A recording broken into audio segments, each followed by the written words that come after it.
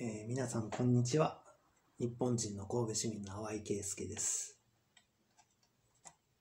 本日、2023年7月18日、えー天皇家の方たちや内閣の方たち、国会議員の方たち、えー各地方の、えー知事、市長、まあ、もちろん都知事の方もそうなんですけども、あと、フィナンシャルグループの方たち、まあ、以前はファイナンシャルグループとか、フィナンシャルグループとか言い方がコロコロ変わってた時期あったと思いますけども、えー、エネルギーの残存量問題に対して、えー全然しっかりと向き合っていません。役員の方たち、しっかりと勉強してください。えー、外苑、まず神宮の、あの明治神宮の外苑に関しての、えー老朽化した球場の解体、その後は何も建てないで置いておいてそのままに空き地にしておいてください。アスファルトも敷かなくていいです。土は時間が経過すると固まるんです。だからそうそう簡単に、えーなかなか中に水は染み込みません。で、えー河川の土砂をかき出した時に、どこかに、えー土を置いておかなければならない。これは今、えー早急に解体しなければならない建物は神戸市内にもたくさんあります。特にあの一軒家とか、えーそういったところで、そういったところを、あの老朽化のひどいところをですよ、えーとにかく解体進めて、空き地スペース確保して、えー土砂のかき出し、これは、えー以前言いました、えー日本の高校生、大学生の方たち、運動部の人たちが、えー、一月に4日出勤して、えー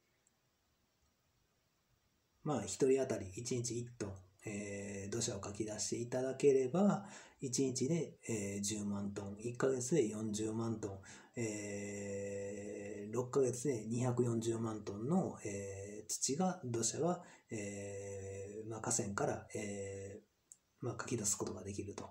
あと、まあ、河川の底をしっかりとあのコンクリート化したいんですけども、まあ、それにはいらない余計な石とかも、あの、かき集めてもらわなきゃならないんですが、まあ、そういったところの件もあって、まずそういうふうに動いてほしいのと、エネルギーの残存量問題と、あと、建物をたくさん建てすぎてるのに、あの、まだフィナンシャルグループ関係が、えー三井不動産とか建てたがってる。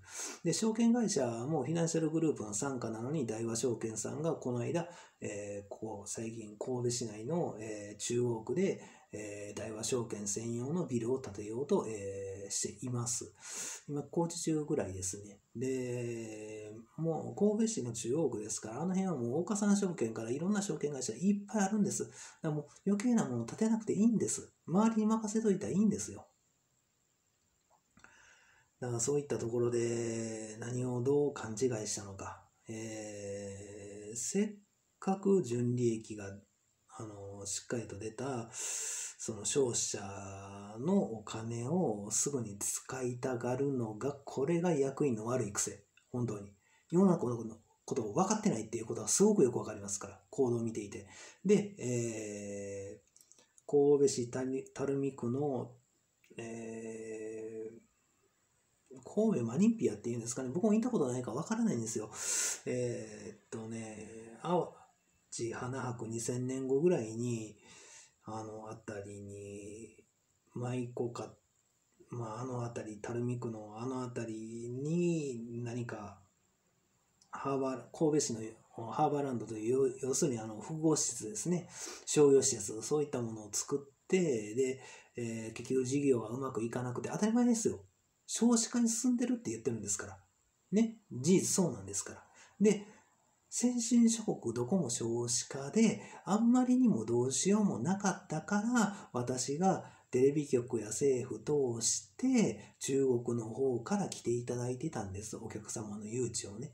だけどもそれもエネルギーの残存量問題はここまで逼迫したんだから限界があると。みんな各自で自粛しなきゃなんないっていう話をしてるのにそこを今解体して再整備しようとしてるんですよまだショッピングモール作ろうとしてるんですよ。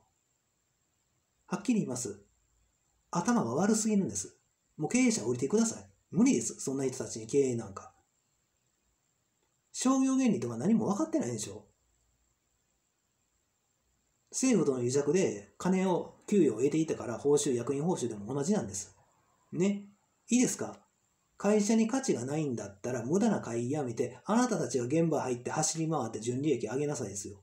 これが株式の世界です。有限の中に株があるんですから。会社法にちゃんと書いてあるでしょ。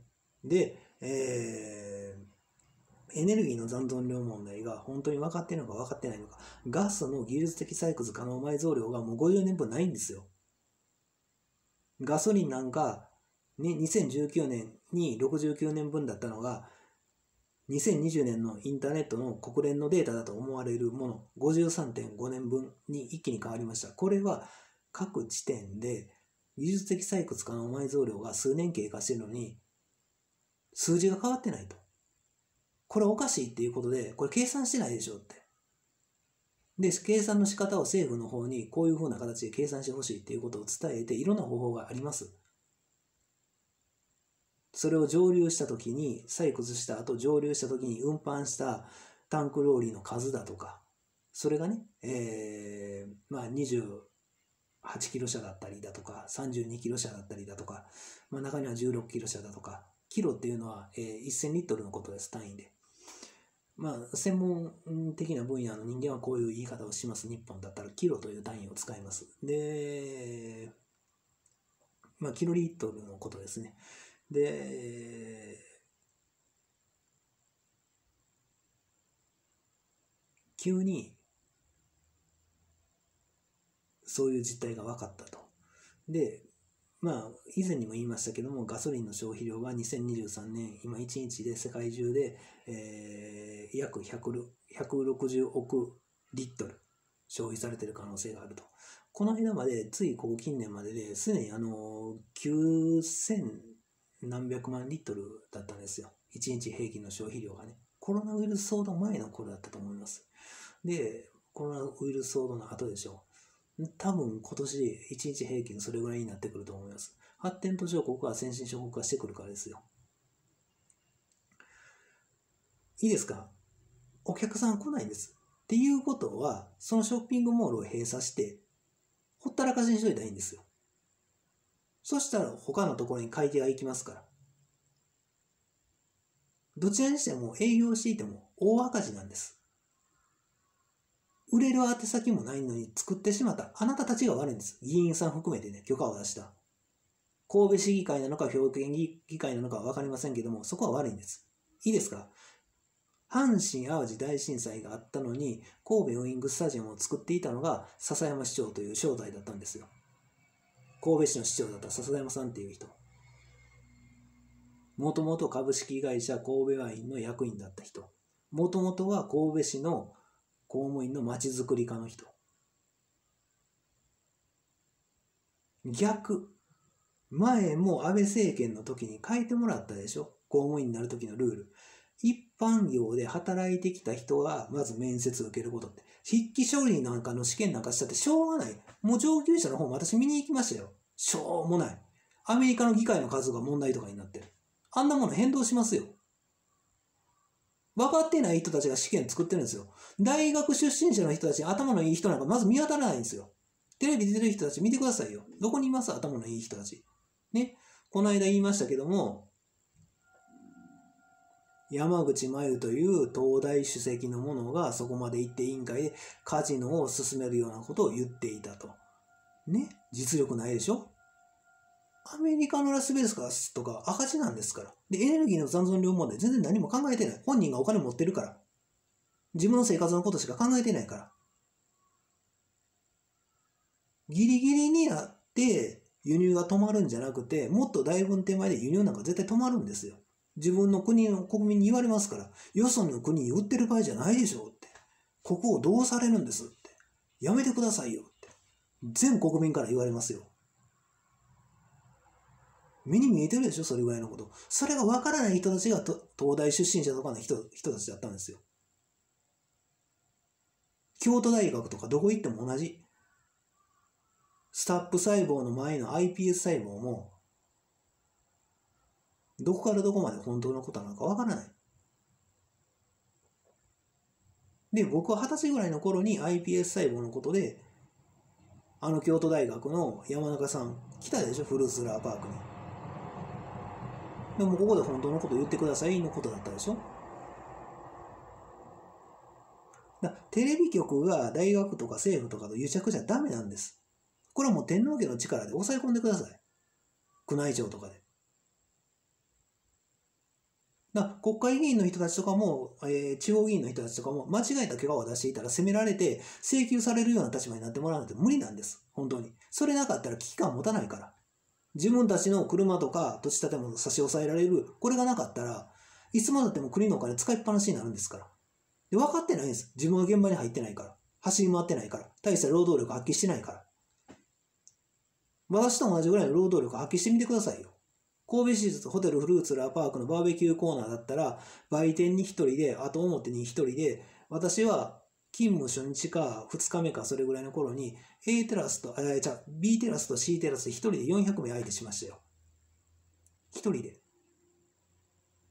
それはセルフサービスですよ。だけどもその後の片付けとかいろいろあるでしょ。なかなか大変ですよ。大阪ヒルトンホテルでは、えー、2000年の1月2日に、えー、1日の売る売り上げを、えー、更新しました。これはもちろん私一人の力ではありませんし、みんなのこれはチームワークです。意図的に狙って売り上げを狙っていかなかったら、そんな売り上げ無理なんですよ。1日168万。1レストランが。そこにホテルですからサービス料の10%と消費税がかかります。多分今でもその記録は抜かれてないと思いますよ。で、州は株式会社だったら、その年末に忙しい時とかだったら1日1万リットルの販売。それが現場で走り回るっていうことなんですよ。公務員な、最初から公務員になってしまうと人間みんな多分ダメになるんだと思います。で、一級上級試験とかを受けて、ペーパーテストのどうでもいいような内容を勉強して、で、いきなり課長とかになるんでしょう。そんな社会にいて何にも世の中のこと分かってない人間が課長になったら、そこから下の人間みんなめちゃくちゃになりますよ。よく分かってない人がよく分かってないまま指示出しますから。無理です。安倍政権の時にしっかりとインターネットでも変わったはずですよ。公務員試験、面接って、今までの経歴って、そうじゃなかったらその人の実力なんか分かんないんですから。東大出ようが、どこの大学出ようが、社会に出て働かなかったら何にも分からない人なんです。実感なんか何も持てませんから。で、この少子、少子化なんかテレビでずっと言ってる。何十年も前から。なのに出店しようとしてる時点で経営者に経営能力がないんです。はっきり言って。一族経営なんかしてるからいつまでたってもそそこで罰せられないからそんな経営の仕方、甘い経営の仕方ずっとなるんです。エネルギーの残存量問題に向き合わないから。これはフィナンシャルグループの正体。で、本当のところの話をテレビで放送させてください。ワールドビジネスサテライトなので。せっかく経済系の番組なんですから。株が上がって喜んでる顔しますけども、あれ何してたんです？海外の投資家が動いて株を買ってるって言ってましたよ。佐々木さんっていう人が。で、その後、自社株買いの話してるんですよ。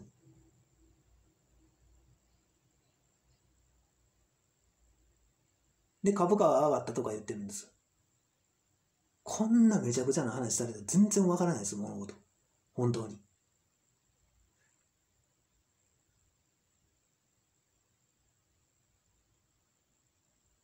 日本が嘘をついたとかそういうふうなことで株を買わされているのか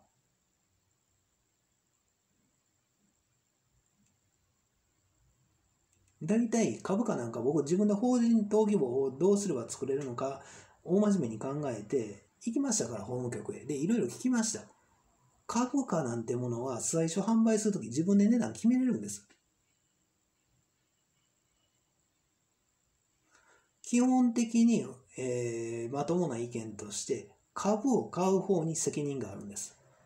それしっかりと海外に押し切れますか？言い切れ、しっかりと言ってますかって。あなたたちも世界の現状わからないまま株を買い付けたあなたたちも原因があるんですよって、これはっきり言いますかっていうことなんですよ。フィナンシャルグループとして一体としてある以上、フィナンシャルグループに純利益がないのに、純利益なんかあるわけないでしょって。部門分けして各会社をね、財閥解体なんかするから話が余計ややこしくなったんですよ。財閥として一つの組織として売り上げを見ていたら、純利益が本当に出てたかどうかはわかるんです。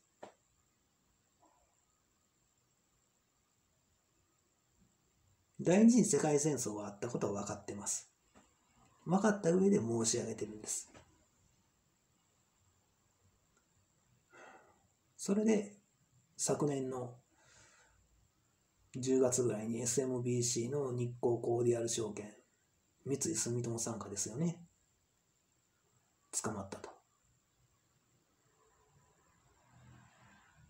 まあ捕まったのかその罰則金を払わされたのか半年間の無給での労働でそうの罪を免除されたのか知りませんけども金額から言ったら一生刑務所から出ない金額ですよ。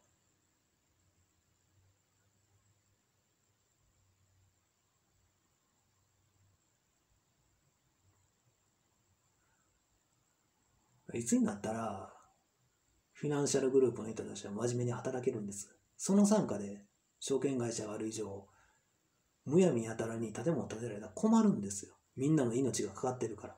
急にエネルギーの輸入が止まって、日本人1億人以上死にますよ。いまだにガスの残存量が50年分以上残ってると思ってたら大間違いですよ。そこまで愚かな人間、経営者としていらないんですよ、役員として。年齢が上なだけで、淡井圭介より上だと思わないでください、本当に。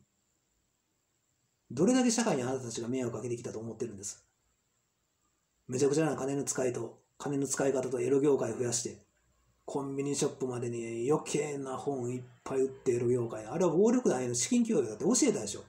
オバマ大統領の時に資金口座、えー、銀行の口座の凍結を行ってもらったでしょ。裁判所の裁判官にもともと根性がないからそこまでししなかったら死刑判決とかは出さなかったんですよ。僕は言わなかったら。仕事してるフリーの人たちが多すぎたんです。で、法律の中に一般人が裁判官に対抗できるような法律とかシステムを導入しなかったら無理ですよ。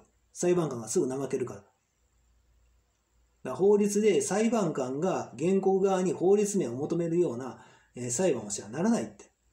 被告側にも。何を違反しているのか裁判官がしっかりと判断できるようにならないと。法の悪用ですよ。平気でまだしてる。だ1956年の売春防止法ができるまで、政府上層部とかがエロ業界とものすごく癒着してたんでしょ。くだらん奴らがいっぱいいて。だから第二次世界戦争なんかしてたんでしょ。根性腐ってるような人間ばっかりだったから。だから大したことないんですよ。海外への大学への留学だのなんだのって海外ばっかり崇めて、それで偉いかって言ったら全然偉くなってない。余計アホになって帰ってきよう。テレビ出てめちゃくちゃなことばっかり言ってる。もういい加減にしてくださいよ。これでこの裁判勝たせてくれなかったら無理ですよ。警察官とか今まで間違えて精神病院行きにさせてたんですか、淡井圭介を。無理やり連れて行ってね。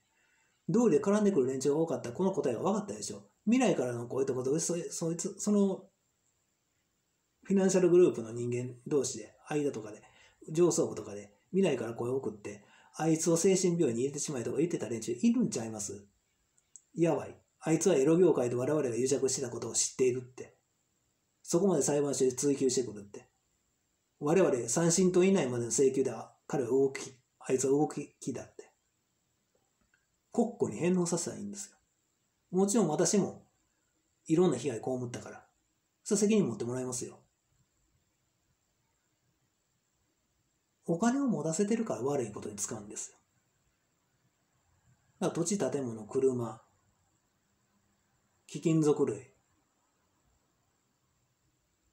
あと他にも売れそうなものを差し押さえないと。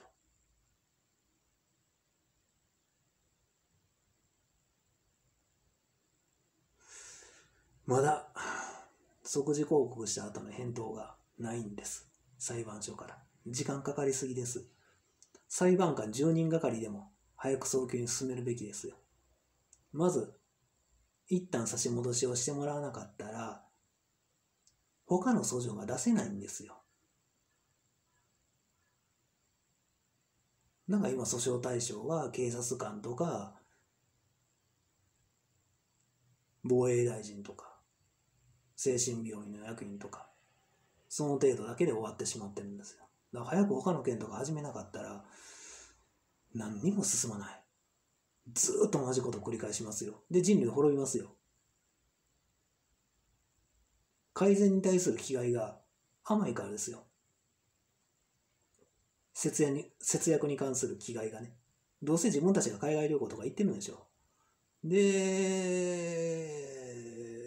日本中旅行したりとかしかもあの GoTo トラベルキャンペーンで会社が優先権を持ってとかの話全部横領事件じゃないですか。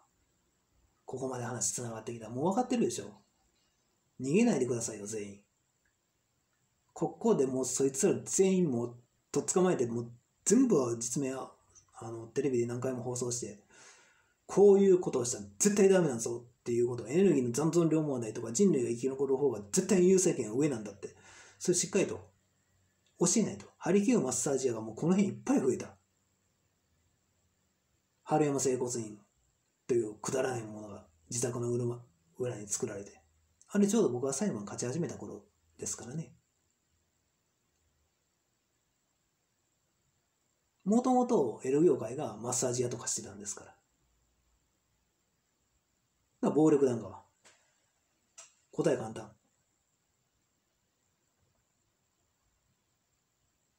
宮内庁の人たちもいろんな儀式なんかもうどうでもいいからしっかりと法律側に戻って淡井圭介が対応しようとしていることを全力で力貸してください。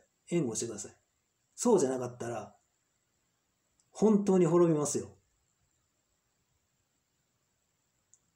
だから私が二十歳ぐらいの頃に河川水門開閉式ダム発電とかをこの近くのねあの河川とか見に行ったりして確認したことっていうのをもう記憶で戻ってきてますからある程度そういう話を誰かにしてたと思いますよ。それが議員さんかもしれないしテレビ局関係者だったかもしれないし裁判所関係の人間だったかもしれない。本当はそういう話があったから雅子様も清掃で神戸市立ホテルフルーツラーパーク当時のバラの間でいろんな海外の方が来られて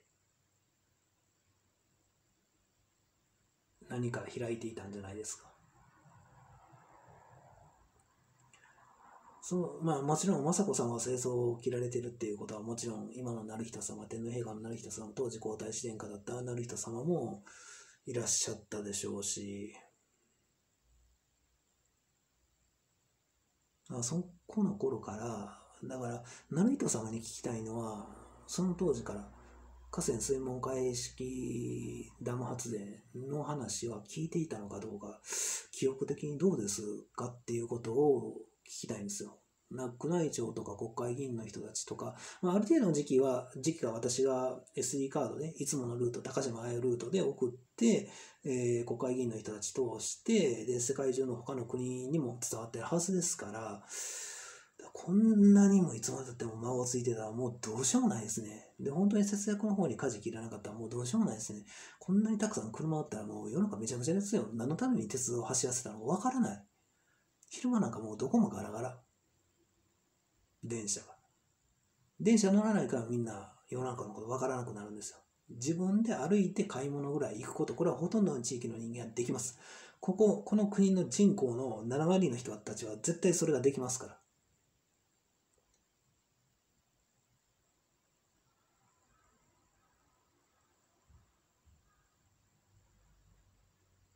まあ今回は、あの、フィナンシャルグループに対しての強い警告です。あとはもう議員さんとかで本当に身勝手に許可出してたらもうこっちももう許す気さらさらないですよ。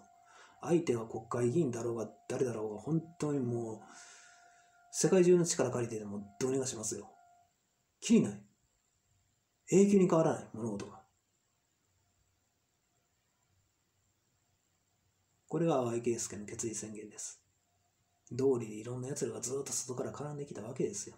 どうせそういう金持ちとかボンボンとかの知り合いとかの子供とか、テレビ出演者ぐらいでとか、そのフィナンシャルグループ傘下のね、それで絡んできたんじゃないですか。原告の方が上です。被害者の方が上です。加害者の方が下です。以上です。